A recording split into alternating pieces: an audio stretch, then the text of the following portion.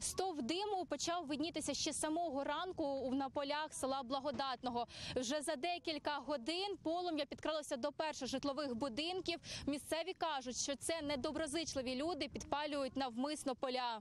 Вітер швидко розганяє полум'я. Є ризик, що вогонь перекинеться на село. Воно оттуда йшло, а іскрами, як все сухе, та й погоріло. Все тільки недавно воно було возле церкви, а вже усе, возле тьот Наді Бейхи. А зараз ще пару минут, та воно перецей. Місцеві намагаються самотужки загасити вогонь. Брат мой вже поїхав он тушить зараз, щоб не перейшло на село, а а може і снаряд бути не розорваний, все що угодно. На фоні чути звуки вибухів.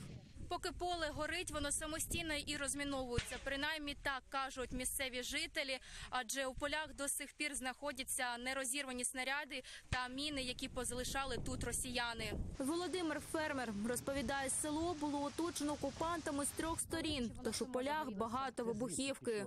Хтось там е, палить, видно, поля, бо десь, видно, хочуть е, починати розміновувати. І воно пішло все до мене, а там в мене соняшник частину посіяно, і трошки е, попекло соняшник. Я вже тушив, тушив, кинув, що бачу, не справлюся, тому що безвихідне положення. В той бур'ян ніхто не хоче лізти, розміновувати. Такі пожежі завдають значних збитків навколишньому середовищу. Ну, страдает и Страждають ці тварини. Ви бачили, як вони тікають. На це страшно дивитися. На цих зайчиків та фазанчиків. Наражаються на небезпеку і рятувальники, коли виїжджають гасити займання. происходит детонация. Відбувається детонація. Хвилююся за особовий склад. Ми виїжджаємо. Ми люди. Ми самі можемо підірватися на цих снарядах. Тому вогонь ми приймаємо на себе, захищаючи поля з пшеницею, льоном, соняшником. Проте інколи пожежі набувають таких масштабів, що рятувальники не в змозі все загасити, тому просять допомоги у фермерів. Сильные пожары. Сильні пожежі в нас майже 42 гектари. Люди дзвонять, просять про допомогу, тому що вогонь розповсюджується до будинків, на села.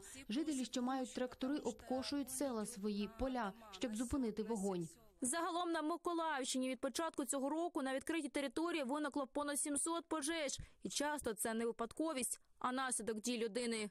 Із Миколаївщини Наталя Сінченко, Владислав Натенко, подробиці, телеканал Інтер, марафон Єдині новини.